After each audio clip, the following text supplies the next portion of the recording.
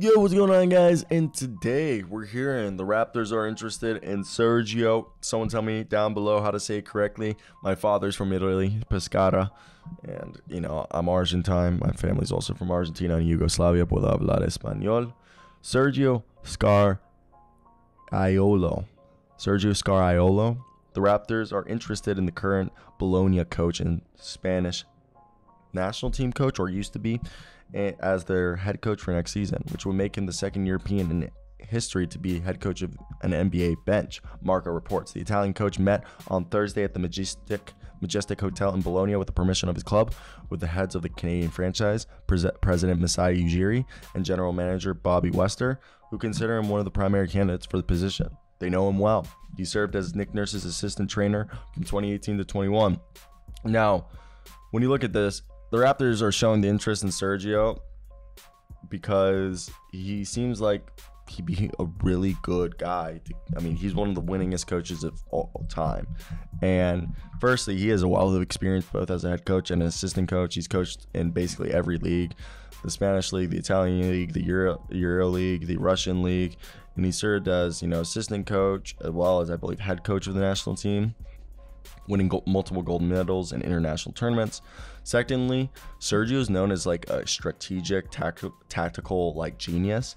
As his ability to adapt his coaching style to fit the strengths of his player, he has a reputation of being a master of X and O's for being able to make in-game adjustments that can swing the momentum of a game in his team favors. Sergio has a strong track record of developing young players.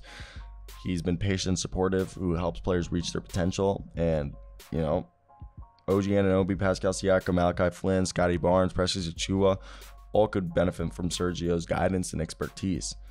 And Sergio's experience working with NBA players, like I said, he was with the Raptors. This means he is already familiar with the team's players, coaching staff, and management. And he had a working relationship with Nick Nurse. Sergio is also known for his positive attitude and his ability to build strong relationships with players.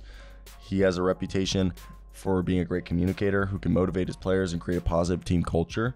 And this is important for the Raptors who have a history of building strong team culture and prioritizing the well being of their players. So, in conclusion, Sergio would be an excellent head coach for the Raptors. His experience, strategic acumen, ability to develop young players, and positive attitude will make him a valuable asset for this team. And his previous experience with the Raptors means he's already familiar with the organization and his players. If the Raptors are able to bring him on board, they'd be getting one of the best head coaches in the world. Seriously. So I want to hear your guys' thoughts. What would you guys want to see and why? And yeah, that's it. Like, comment, subscribe. Have a great day, guys. Puppies out. Seriously. I still can't believe that. That's wild.